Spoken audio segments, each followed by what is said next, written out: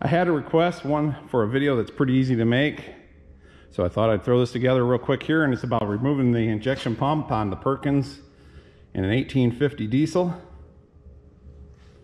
And uh, pretty straightforward. Well, the, the normal stuff, disconnect your throttle linkage, uh, your shut-off cable, which ain't on here right at the moment because this engine's obviously out of the tractor, injector lines, uh, your return line. Most engines you have to line up to time them, and it wouldn't be an entirely bad idea to roll the flywheel around. There's an indicator under this window but when you put it back together, normally this window's sealed with a lead seal like that. I just had this injection pump gone through a few years ago. So you open the window, it breaks the seal, then your warranty's void. So honestly, you don't even really need to do it with these. The biggest thing you need to watch for is there's a hash mark right here at the base of the pump. This one lined up with this one. Once you have all your fuel lines disconnected and removed out of the way, take the three bolts out they should be studs. This one uh, is a bolt for some reason. Should be studs with nuts on top. Three of them, one in back here. And then just lift it on out. And you're saying, what about timing? Well, there's what's called a blind spline in there. Let me grab another pump. This is an injection pump. I don't remember if it's off 285, 2105. One we had laying around. And for the most part the same pump. Oh, this one doesn't have the diaphragm on the front here like the some of them did. There was uh, changes in them. Mounts on pretty much the same way with the three bolts. Uh, the one difference you'll find between this pump and the 1850 uh, Perkins engine is this gear that's on here as opposed to uh, the 1851 has there's a stub shaft that goes between the two. And the stub shaft goes down into another gear below it and it goes up inside the drive of this. And much like this one is what's called a, a blind spline. In this case there's a spline missing here and then on the drive hub that this sits down into there's a, a large tooth with no gap between it so there's only one way this can go in is uh, with this lined up with that large uh, tooth. And then you just line up the hash mark. Which one would that? It should be on this one.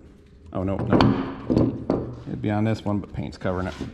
Anyways, slide that down in and uh, so on these, they got the little stub shaft. I'm not gonna, like I say, this pump hasn't been that long since it's been worked on. I'm not gonna take it off and break seals and have to replace gaskets and stuff. But a little stub shaft that goes between, and it too has a blind spline in it. So it'll only fit one way into the gear below it, and it'll only fit one way into this pump. So it really doesn't matter where the engine's at, because that spline, or the, as long as you don't mess with any of the gears up in the uh, front cover here or anything, if you're just taking the pump off, then you just uh, put that little shaft back in. It'll only go in one way. Then you set the pump down and make sure the bottom's turned to where the blind spline's lined up. Kind of turn it a little until it drops down on that shaft. Put it back on.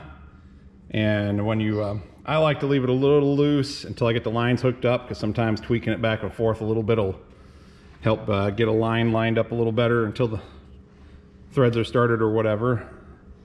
And then once those are all started, then I'll uh, make sure these two lines here are lined up. Tighten all three of the base nuts down, and the pump is should be timed back up right. And then it's just a matter of hooking up injection lines, bleeding the system out. That's what this little screw here is. Back it out a little way, go around to the other side. Run the hand pump on the lift pump. Oh yeah, it's working. That's a brand new lift pump, so it should be. Uh, start with, uh, of course, you, you've taken that off. You want to put a new uh, fuel filter on. There's your part number for the fuel filter. That's the AGCO part number. Uh, bleed that out. And then, uh, let's see, because this line here goes up to injector, which returns the fuel tank. But then you uh, just loosen this screw up a little bit, pump on the other side until uh, fuel squirts out of here. Tighten that back up. Have all these nuts tight, but leave the ones at the injectors loose. Then you crank your engine over with the throttle wide open and watch for fuel to start squirting out around these nuts. And when you're getting a good squirt of fuel around each one, stop cranking. Sometimes uh, it takes a couple of cycles. You don't want to crank for a long time and burn up your cables and your starter. So, you know, you crank for 30 seconds. If the fuel ain't up there yet, give it a little breather for a minute or two. Then crank it over some more until you get those steady squirts of fuel. Then just tighten all the nuts for the injectors and then she should fire up like normal. And don't forget to pull your throttle back down. No one wants a engine wide open right off the start. And that's all there is to pulling an injection pump on one of these. Like I said, very simple. Now, if you start getting into uh, wanting to change the timing, that's a whole different ball of wax. There's a boatload of gears in the front cover here. Uh, you got your like gear on your crankshaft. You got your counter uh, gear over here that drives the crank or the camshaft. Unlike a lot of engines, the camshaft actually turns the same direction as the engine or the crankshaft in this one. That helped them tuck tuck it in a little closer and make it a little more compact engine. Um, so then your uh, your gear here that drives the camshaft also comes up, drives another gear here and another gear here. And there are bolts inside this cover for adjusting the timing on that gear that are uh, slotted. Then it comes back, there's a worm gear drive right here that turns the gear that goes up into that. So there are several gears from the crankshaft all the way up to this injection pump. And on these, it's a bronze gear that's under here and that can get worn and when it does the backlash between the gears can allow the injection pump to kind of flutter at high RPMs so if your Perkins kind of misses and pops when it's just you know at the wide end or at the upper couple hundred RPMs of rev uh, speed a lot of times that's the problem is that bronze gear that uh, is under here. And to replace that you need to make sure your timing's right which case you can open your window or uh, but well that's that's a big long procedure that's going to uh, not be in this video. That's why I'm telling you about that. The uh, timing marks on all these gears only line up once. I think it's every 72 revolutions because they ain't exactly like two to one or anything like that. It ends up being two to one by the time you get to uh, from the crankshaft to the injection pump the injection pump turns uh, half the speed of the crankshaft because it's a four cycle engine. The engine piston only fires every other time that it comes up. So I hope that helps. One other thing I wanted to add, uh, if you're ever looking for your engine serial number on these 354 Perkins, it's right here. Right next to the injection pump on, uh, on the actual block. Early ones like this one is just gonna have a number um, then later on, they put on 354, which showed that it was a 354 engine, um, which is the displacement of this one.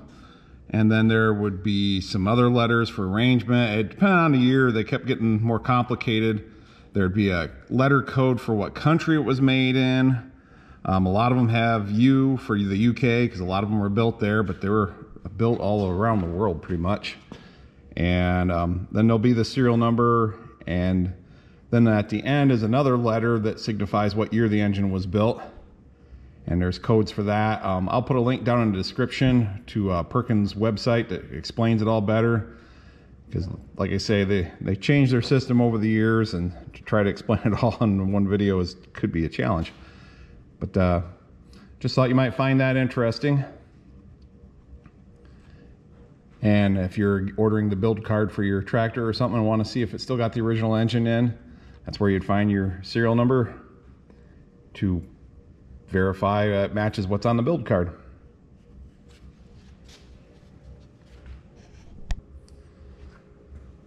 So once again, thanks for watching. We'll see you in the next one.